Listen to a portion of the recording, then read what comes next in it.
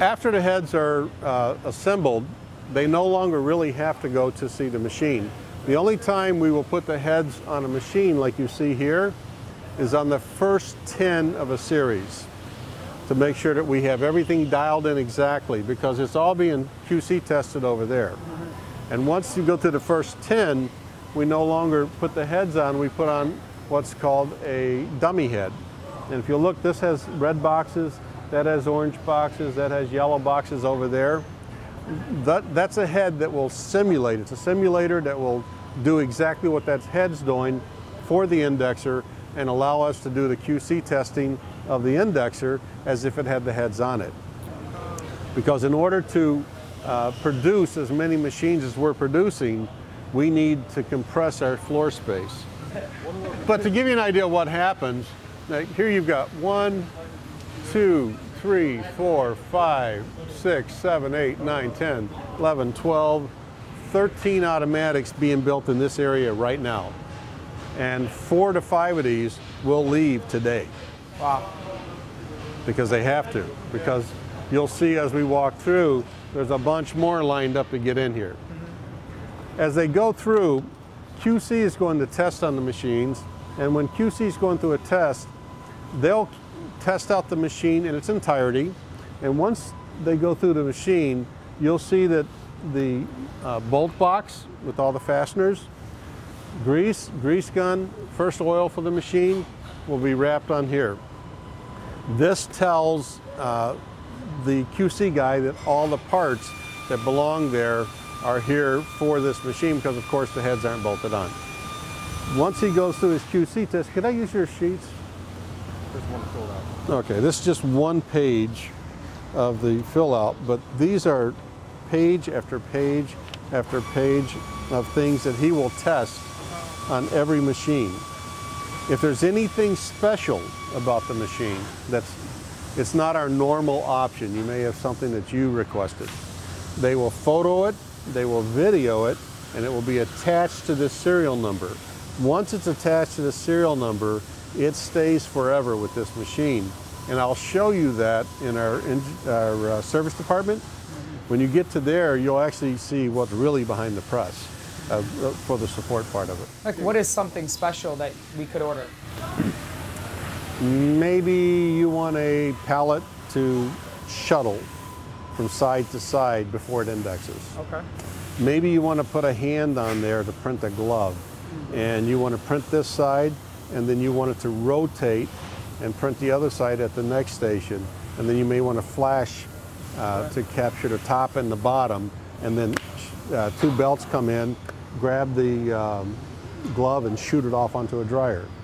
If you want that, we need to have data to support you. Yeah. So we'll, we'll do all that and back it up. Or you may have a, a uh, longer stroke or a shorter stroke or something that you needed special to your machine. Maybe it's it, you wanted that display on a standard machine. It's all the things that you could ask for. We'll customize because every machine is a custom machine and we'll build it and we'll put it into your file. That way we can support you for the life of the machine. But as the machines go through the process, they'll go through testing. Every machine is registered here. The uh, assemblers will register to a tolerance of under 1 thousandths. Then upon shipping, when it's installed in your facility, the tech that does your install will double check your registration to make sure that you're under a thou because the machine cannot leave here if it's over 1 thousandth in tolerance on the registration. And that's from bearing to bearing. So as they process them through, they'll complete them. Now every machine is, is country specific. When you start talking about country specific, that means different voltages. That means a different hertz.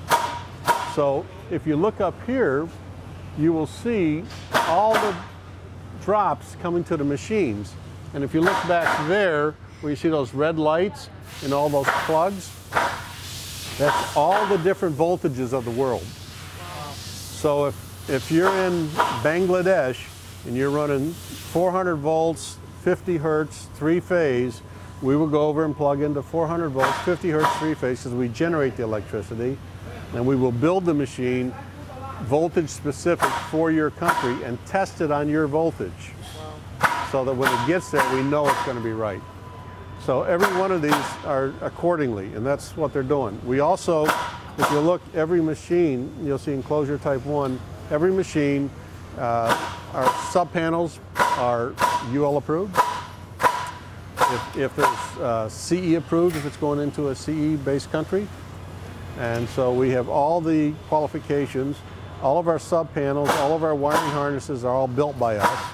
So you'll see that as you go through as well. But every single piece is inspected. What country do you ship most? 45% of our uh, business is in the United States. Uh, 55% is offshore, with probably uh, biggest ship to last year, I believe, was Bangladesh. Uh, India was number two. China was number three last year. And then it moved into Central and South America, with uh, Honduras being uh, the fourth one. What is the largest shop that you that the largest M&R shop? How many?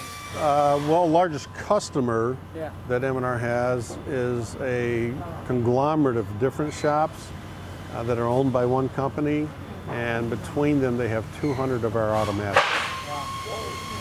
With an average, some of them have 50 plus automatics in their shop In the United States? in the United States. And a, a perfect example is VF Corp owns Nutmeg Mills in Tampa, Florida. You're familiar. Okay, Tamp, uh, Nutmeg Mills has approximately 53 automatics in, in their Tampa facility, Doing what is their main printing that they do? uh, sports apparel. Sports apparel. Yeah. And it, all licensed apparel, whether it Yep. be NASCAR, NFL, NBA, whatever. Very cool. But as- they build them through, each machine will be uh, operated here. These heads will actually cycle just like those heads would, so you know exactly what's going on with the machines. Now, now what you see here, when you see these guys not wearing uh, uniforms, those guys there are techs in training. Okay. At- At any given time, we have 50 field technicians in uh, M&R's corral to service our product.